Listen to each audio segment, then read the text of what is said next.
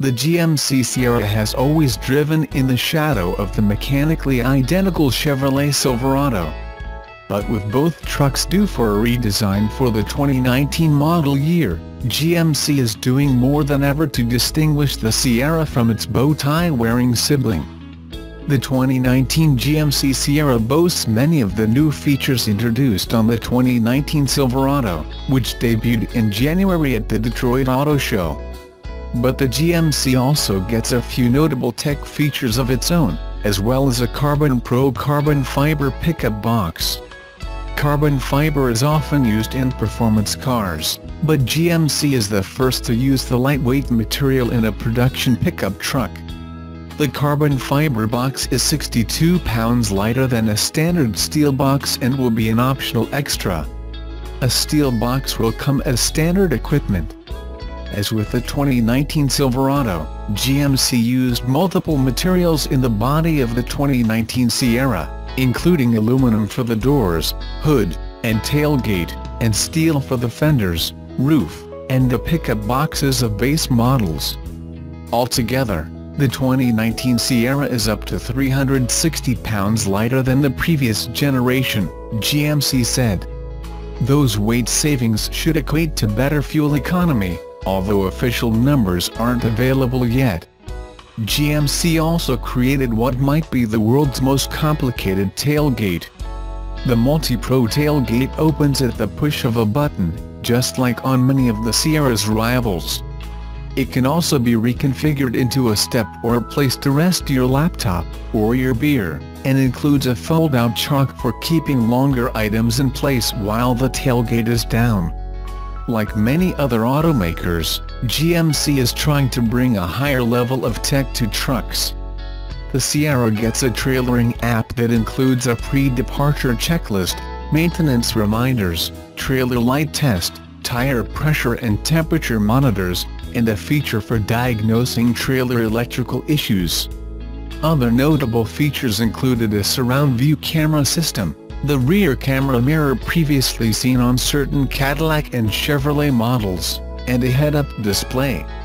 GMC claims the latter two features have never been offered in a truck before. The Sierra itself has a somewhat more conservative exterior design than the Silverado, which might be a good thing for buyers put off by the Chevy's more unusual looks.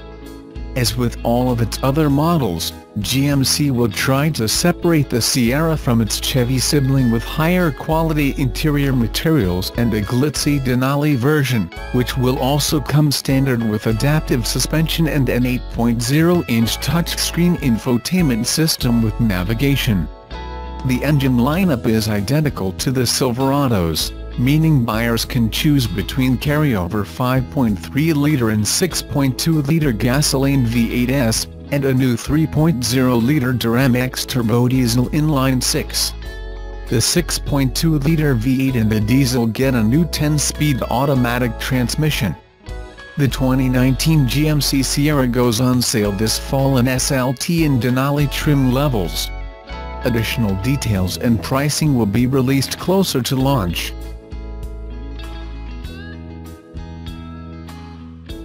Honda CR-V SUVs and Honda Civic cars with high oil levels are waiting to be fixed in China as Honda tries to respond to a growing chorus of owner complaints about overwhelming fuel odors in the vehicles. Based on customer complaints, the high oil levels and fuel smells have hit Honda customers hardest in the northern areas of China where low temperatures are common. Dongfeng Honda, a Chinese car company half owned by Honda, originally announced in February a recall of about 350,000 Honda CR-V SUVs and Honda Civics. The vehicles are equipped with 1.5-liter turbocharged Earth Dreams direct injection engines that, according to Honda, have oil levels too high due to short drives in cold weather. The automaker says the cold climate and short trips cause condensation and excess fuel vapors if the engines don't have time to reach temperatures that would normally burn off the contaminants. Honda says excess fuel builds up and stays in the oil pan where it would normally evaporate and recycle through the combustion chamber of the engine. In addition to the high oil levels and fuel smells, customers report illuminated engine warning lights, but Honda says the problems won't cause engine damage and there haven't been any reports of crashes. Dongfeng Honda told Beijing media that experts from the Honda Technology Research Institute conducted lab tests and real-world driving tests in northern China and allegedly determined the high oil levels don't cause abnormal engine wear. The high oil levels also allegedly won't cause any performance issues with the CRVs and Civics, and although numerous customers complain about high oil levels and gas odors, no customer has alleged engine damage. Investigators further determined the engine warning light will activate when the oil level hits 21 mm above the limit of the dipstick. Honda and Dongfeng plan on resolving the problems by updating the gasoline injection control software, adjusting the ignition timing and speed of the engines and updating the fuel injection timing to effectively burn off excess fuel. Additionally, the automaker planned on extending the warranty to six years, but Chinese officials put the kibosh on the plans, at least concerning the CRVS. Chinese regulators say Honda needs to come up with better recall plans for the CRV SUVs and will likely need to do the same for the Civics. This means Honda cannot sell CRVs in the country until officials approve new recall repairs. Honda recommends limiting extended idling periods, using a block heater and driving the vehicle in a lower gear to cause the engine to warm up faster. The automaker says longer trips at higher engine revolutions will help the excess fuel and vapors to properly evaporate. While Honda stays busy responding to Chinese customers about the CRVS, the automaker has experienced its own problems in the US concerning gas smells in the SUVs. A class action lawsuit filed in 2016 alleges model year 2016 Honda CRVs have problems with fuel odors in the cabins, and a separate lawsuit alleges 2015 to 2017 CRV SUVs have defects that cause fuel odor problems within a year of owning the SUVs.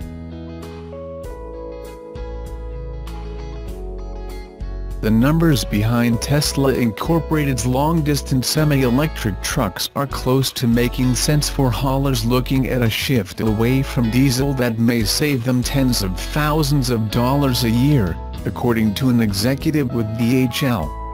Jim Monkmeyer, president, transportation at DHL Supply Chain, was among the first to order the truck Silicon Valley billionaire Elon Musk's company is expected to begin churning out in 2019.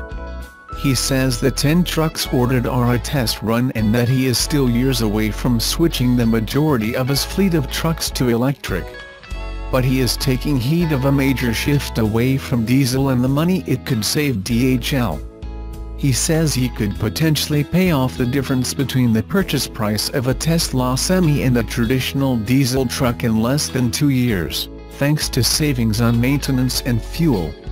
Monkmeyer told Reuters in an interview from his office in Columbus, Ohio, we are estimating that we could have payback within a year and a half based on energy usage as well as lower maintenance cost. The maintenance savings can be enormous as well just because the engines are much simpler in terms of the number of parts and the complexities of the parts. The payback benefit is one of the keys to the success of the new generation of electric trucks and DHL, a unit of Germany's Deutsche Post, has a history in the area, having already introduced 5,000 of its own electric scooter vans for local deliveries. The two-year timeline also chimes with assurances being given by Daimler AG's van unit to customers interested in its forthcoming electric Sprinter van that the total cost of ownership will be the same as the cost to own and operate a conventional van over a few years. Monkmeyer says he does not expect to buy just Tesla electric trucks but the in-depth discussions on price and feasibility that DHL is running on the trucks are in line with several small and large international haulers who spoke to Reuters. A truck runs around 65,000 to 100,000 miles a year, and Tesla has promised a 20% saving on the per-mile operating costs truckers pay now, estimating its new semi will cost $1.26 per mile compared to what it says are industry standards of around $1.51 for diesel trucks. Analysts, however, say the figures continue to evolve. The $1.51 cost assumes prices for diesel fuel and that fuel economy costs remain static. They also say fuel efficiency for diesel trucks is expected to advance further, with a compounding improvement in the high single digits by 2020, potentially limiting the cost savings advantage suggested by Tesla. Jefferies analyst Stephen Volkmann said, the problem is Tesla are aiming at a moving target, and even with that the electric trucks would be lower cost, in terms of operation, but it wouldn't be quite as big a difference. Monkmeyer says the company is still mapping out costs, but believes the two trucks already look like they will be close enough to make the switch feasible.